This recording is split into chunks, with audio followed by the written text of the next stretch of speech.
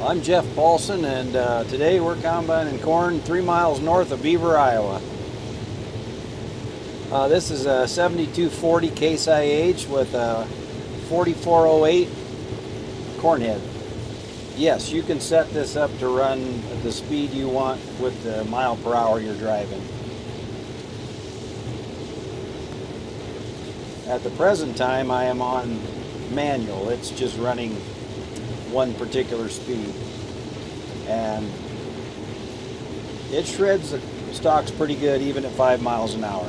Well, actually, we had uh, the uh, a year prior to that, we had a neighbor come and help us finish up. We were getting kind of late in the season, and he brought his over, and, and he had a 2000 series head on a 7130 Case IH combine. And after we noticed how good they were, he said, well, he was on his second set of them. He'd already, he'd put them on, and I think he said he got six or seven seasons out of them, and then he switched and put a new set on, on the same old head. Yeah.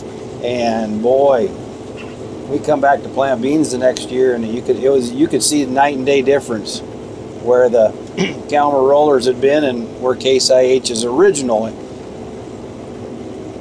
were on there. So that was kind of a selling point in itself.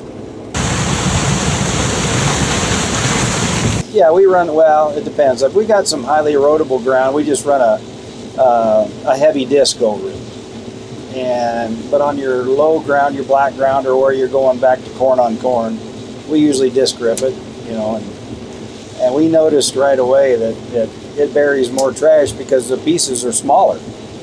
They're just chewed up so well. Well, yeah, I think it's it's better because you're going to have darker soil in the spring.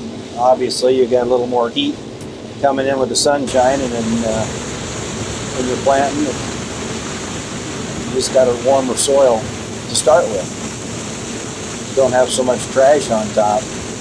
I mean, yeah, we can. We've had we've had uh, actually we've had a snowstorm in May before, uh, May the sixth one time, and you know the biggest thing about trying to get everything to your emergence is so important whether it's corn beans whatever you need to get it out of the ground.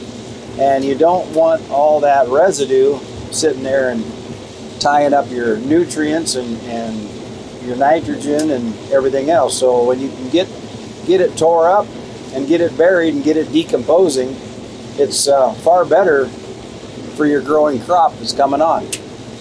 Eight rows is always has always fit our program real well um,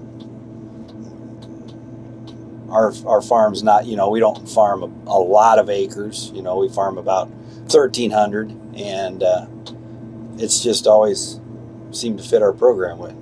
If you get 12 row head, you got to have a bigger cart, and you got to have more people. Kind of how it works.